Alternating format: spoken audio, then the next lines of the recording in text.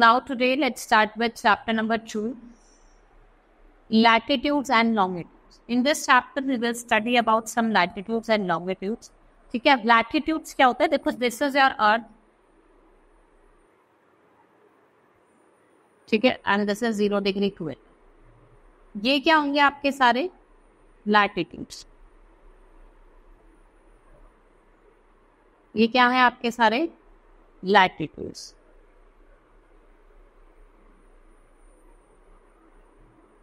ठीक है? और ये क्या होते हैं आपके?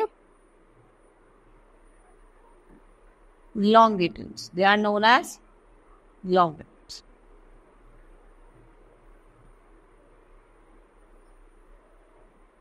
lat लेटा हुआ लैटिट्यूड और लॉन्ग मतलब लॉन्गिट्यूड नाउ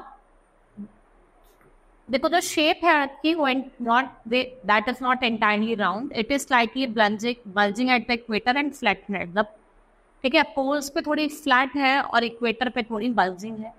ठीक है, इसकी जो शेप है, वो जियोइड है and there is a difference about 44 kilometre between polar diameter और इक्विलेटरल डायमीटर जो डिफरेंस है पोलर डायमीटर और इक्वेटोरियल डायमीटर के बीच वो कितना है? 44 किलोमीटर बट प्रैक्टिकल पर्पज की हम बात करें तो बोला जाता है जो अर्थ की शेप है वो स्क्वायर है like a ball because immense size of the earth वो डिफ़िकल्ट रहा कि हम उसकी प्रॉपर शेप को स्टडी कर सके। A globe is three four dimensional model of the earth it is link like a map that has been printed और pasted on a holospheric map है, जो एक होलोस्फेयर पे क्या है? Print since the shape of the earth is almost spherical it is very difficult to locate a place on it it. And therefore, in order to overcome this problem, हम evolve करेंगे और find करेंगे points on line, which we can use as a reference purpose for locating different places on earth. As we all know, Earth rotate करता है on an imaginary axis. जो end points होता है imaginary axis का उसको क्या कहा जाता है poles. ठीक है क्या कहा जाता है poles कहा है ये क्या है आपका नॉर्थ पोल और ये क्या है आपका साउथ पोल और मैंने आपको इक्वेटर बता ही दिया ज़ीरो डिग्री पे आपका क्या लाई करता है दैट इज़ योर इक्वेटर ये क्या है आपका equator We know the following reference describing the location of placing of the earth. मैंने आपको बताया this is north pole south pole और ये क्या है? आपका ज़ीरो डिग्री इक्वेटर अब हम पैरलन एंड मेरिडियंस की बात करते हैं। A globe is true representation of earth it has two sets of circle one set का सेट जो होता है, वो रन करता है वेस्ट टू ईस्ट और एक उसे हम पैनल ऑफ़ इक्वेटर कहते हैं, और उन्हें क्या कहा जाता है? ये क्या रहा है? वेस्ट से ईस्ट रन कर रहा इन्हें क्या कहा जाता है? Pan the second set is run from north to south उसे हम नॉर्थ पोल से साउथ पोल कहते हैं। ये half of the circle between north pole और हाफ़ होता है। साउथ पोल उसे क्या कहा जाता है? मेरिडियन तो ये वाले तो आपके क्या हो गए? मेरिडियन और ये क्या हो गए आपके? पैरडल्स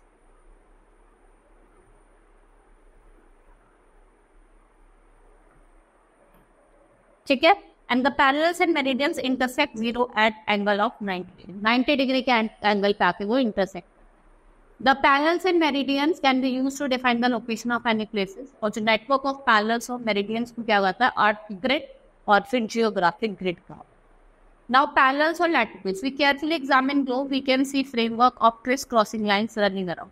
इन लाइंस को ग्रिड कहा जाता है, जो हॉरिजॉन्टल सर्कुलर लाइन होती है, जो पैरेलल होती है फ्रॉम इक्वेटर टू पोल्स उन्हें पैरेलल्स कहा जाता है लाइंस ऑफ़ लैटिट्यूड्स कहा जाता है। इन्हें डिग्री में मेजर्स कहा जाता है और जो लैटिट्यूड ऑफ़ इक्वेटर है, वो कितना है? Zero degree distance from the equator is to either of the poles is equal to one fourth of the circle जिससे हम थर्टी सिक्स को थ्री सिक्सटी को डिवाइड करते हैं फोर से तो कितना होता है? Ninety degree north pole ninety पे लोकेटेड और south pole ninety degree south latitude ठीक है, जो आपके नॉर्थ में है, उसको हम नॉर्थ पोल कहते हैं नॉर्थ लैटिट्यूड और जो पैरल आपके साउथ में लोकेटेड होता है, उन्हें क्या कहा जाता है? साउथ लैटिट्यूड ठीक है? Now while writing the latitudes, we always write NOS along with the distance of the place of the equator. जो लैटिट्यूड वो प्लेस है, वो थर्टी डिग्री होता है नॉर्दर्न हेमिस्फीयर में फ्रॉम थर्टी एंड लिखते हैं और जो इक्वल लैटिट्यूड होता है सदर्न हेमिस्फीयर में थर्टी ऐसी लिखते हैं जो parallels of lines of latitude है, अब उसकी हम कुछ करेक्टरिस्टिक्स देखेंगे. जैसे ऑल पैनेट्स एक्सेप्ट 90 डिग्री और 90 एस आर सर्कल्स और 90 डिग्री एन और 90 डिग्री एस क्या है? They are forms the parallels are at equal distance from one other distance between any two parallels on the surface of the is about 111 kilometre equator forms a largest parallel then decreases जैसे ही आप poles की तरफ़ move करोगे. Equator is already the great circle on the surface of the earth all circles are smooth अब कुछ हम important panels की बात करें. ठीक है? जैसे आपका ये सर्कल है, यहाँ पे क्या है आपका ज़ीरो डिग्री इक्वेटर फिर twenty three and half north twenty three sorry sixty six and half north यहाँ पे twenty three and half south यहाँ पे सिक्सटी सिक्स एंड हाफ़ ठीक है? ज़ीरो डिग्री पे आपका लाई करता है इक्वेटर क्या लाई करता है? इक्वेटर फिर हम बात करेंगे 23 डिग्री हाफ़ नॉर्थ में. आपका क्या लाई करता है? Tropic of cancer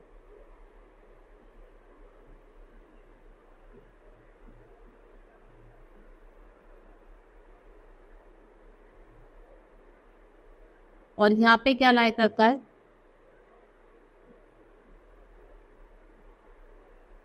tropic of Capricorn ठीक है?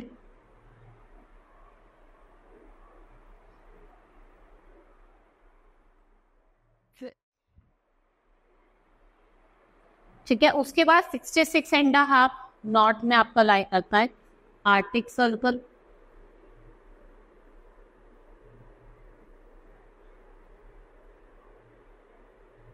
और यहाँ पे क्या लाया जाता है आपका? एंटार्टिक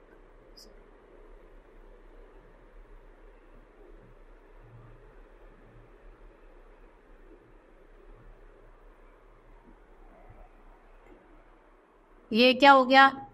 नॉर्थ पोल और this is south 90 degree south.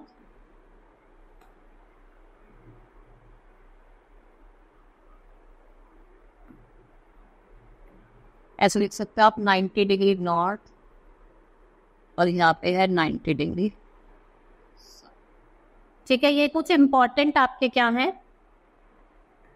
These are सब इंपॉर्टेंट पार्ट ठीक है ज़ीरो पे आपको मैंने बता दिया इक्वेटर नाउ जैसे मैंने आपको बताया tropic of cancer 23 degree half north hemisphere tropic of cancer capricorn arctic circle of antarctic अब हम बात करेंगे heat zone based on the angle of incidents of sun the sun shine overhead earth को हमने थ्री हीट जोन्स में divide करा कौन कौन से हैं? ट्रॉपिकल जिसे हम टॉरिड जोन भी कहते हैं टेम्परेट और फ्रेजिड जोन सबसे पहले हम बात करते हैं टॉरिड जोन की।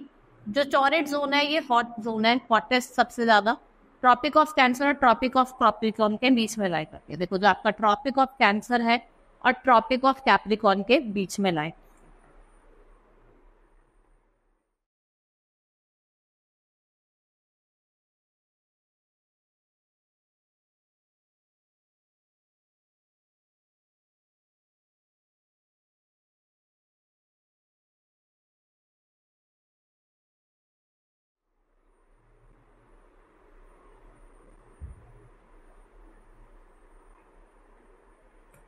यहाँ पे आपकी कौन सी जोन लाई करती है? टॉनिक दिस इज़ योर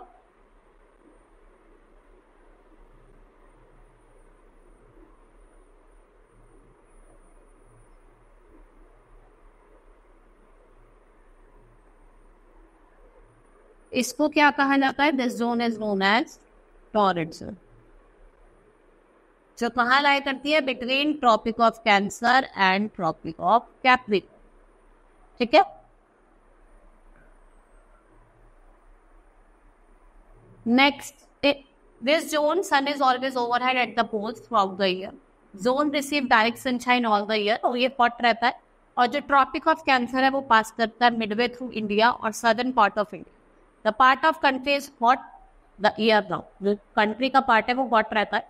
फिर हम बात करेंगे टेम्परेट जोन जो टेम्परेट जोन है वो आपके कहाँ लाई करती है? Lie between Tropic of Cancer and Arctic Circle northern hemisphere में.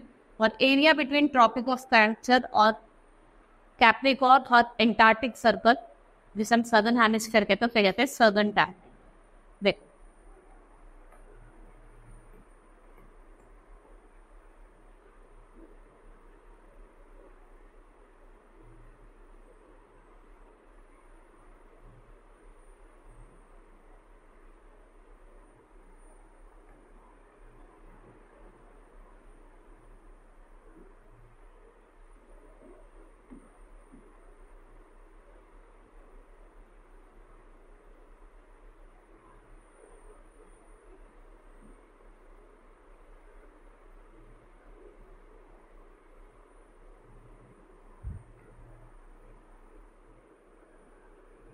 ये क्या है आपकी टेम्परेट जोन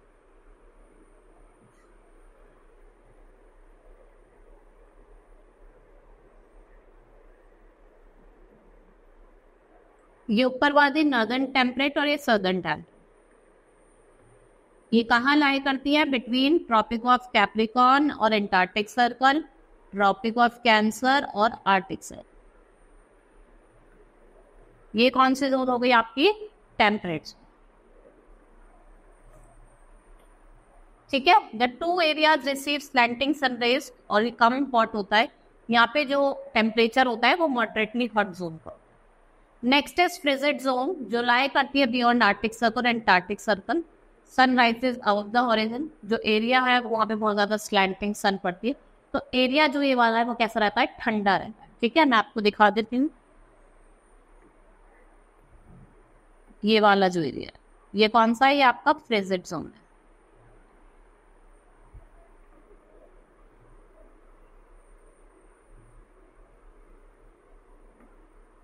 इसको किस नाम से जाना जाता है? This is known as frigid zone ये आपकी कौन सी जोन है? फ्रिजेड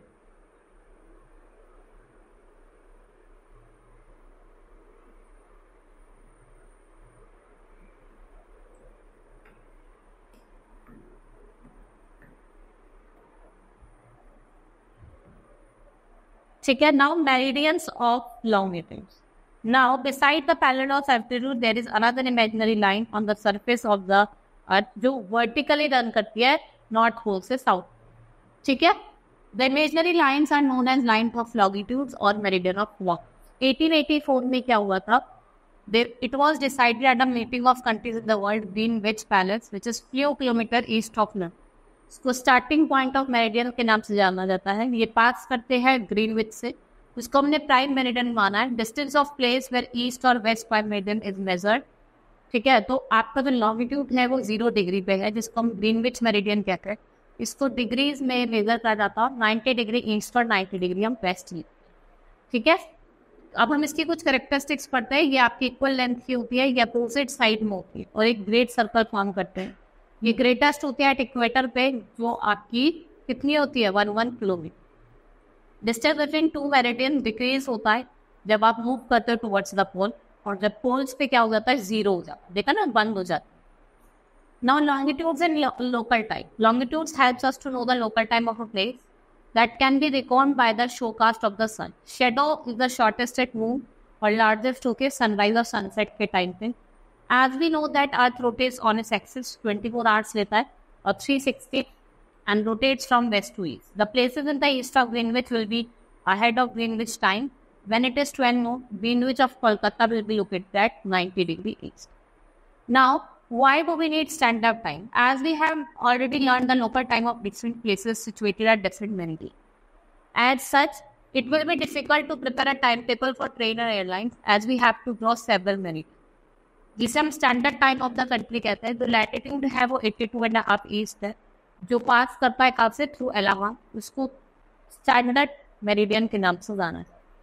Time zone international prime meridian conference held हुई थी 1884 में।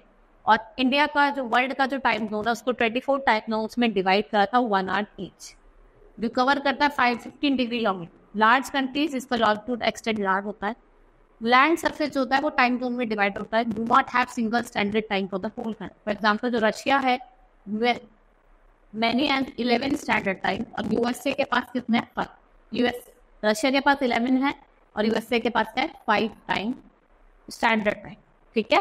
Hope you understood the chapter that's all for today hi